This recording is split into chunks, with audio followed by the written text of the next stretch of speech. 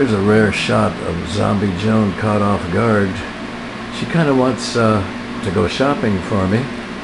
What did you have in mind to get at the store, honey?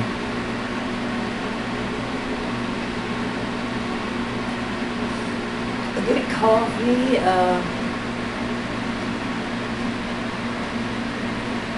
Sounds good. Show them the uh, j- show them the jar you got right now. Hold it up. Oh, okay. That's Nescafe. Show the front of the jar. Gabriela. Oh, oh, do you love that kind? Wow. That's all I can get you is that brand because it's a dollar a jar. And you like Nescafe too, don't you? Yeah. Okay. Well, we're doing a little quick hello with Zombie Joan. We haven't visited visited her for a while, but she's doing okay, eating well every day, and we'll be over and out for now, and we'll talk to you soon.